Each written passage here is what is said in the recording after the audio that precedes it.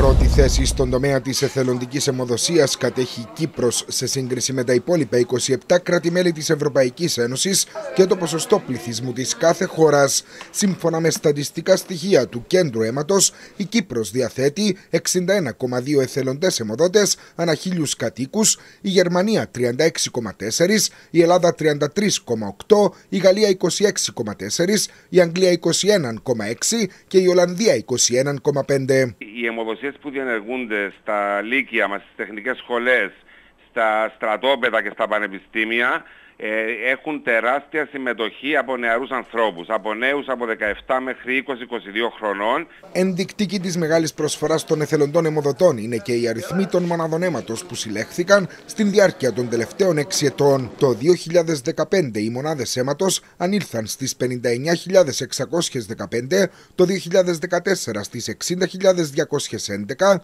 το 2013 στις 57.324, το 2012 στις 50 57.847, το 2011 στις 56.208 και το 2010 στις 55.031. Η συμμετοχή στις αιμοδοσίες είναι περίπου ισόπωση μεταξύ ανδρών και γυναικών, δηλαδή το αίσθημα της κοινωνικής προσφοράς είναι το ίδιο και στα δύο φύλλα. Τα στοιχεία δόθηκαν στη δημοσιότητα με αφορμή την Παγκόσμια ημέρα εθελοντή αιμοδότη στις 14 Ιουνίου.